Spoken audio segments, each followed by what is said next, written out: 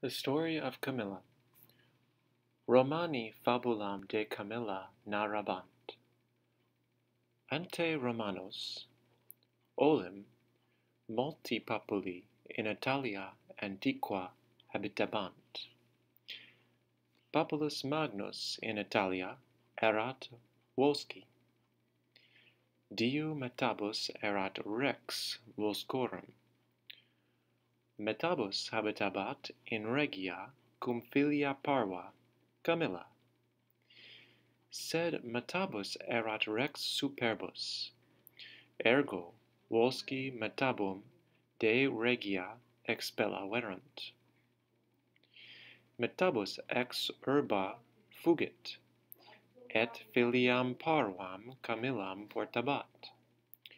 Volsci erati sequant, cum gladiis acutis non cupiebant captivos.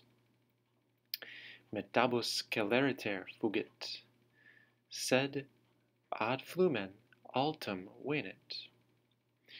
Undae flumeni magni spumabant metabus cupiebat natare sed infantem in manu tenuit.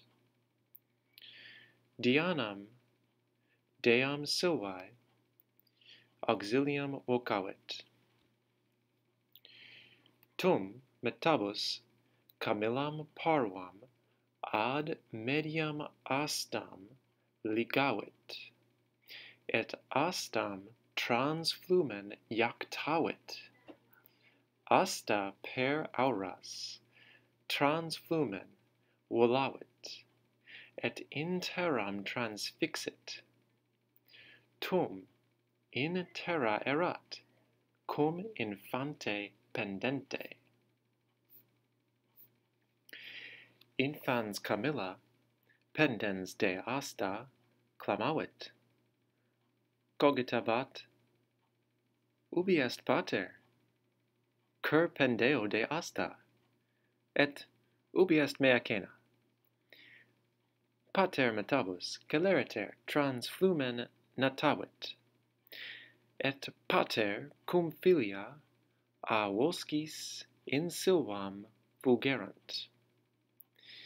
Vosci ad flumen moent, sed natare non cupiebant, ergo singuli ad urbam ambulaverant. Liberati de voscis, metabus et Camilla in campis habitabant.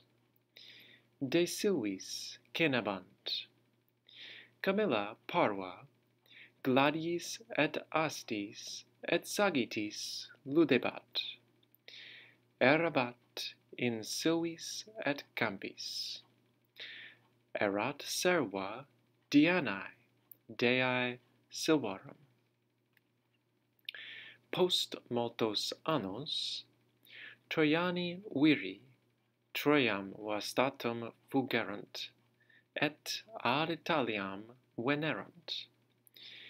Imbello contra Trojanos, Camilla, pugnabat, ubi, vir, quem Camilla non vidit, eam necavit.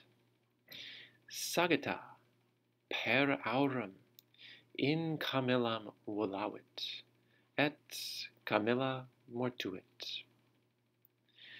Dea, Diana, erat iratissima.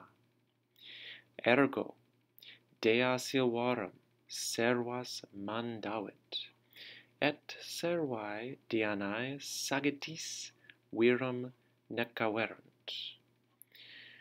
Vir mortere merebat, Sic aut minime Dei Romani viris mortalis non semper dant, quid merent. Et illa est fabula de Camilla.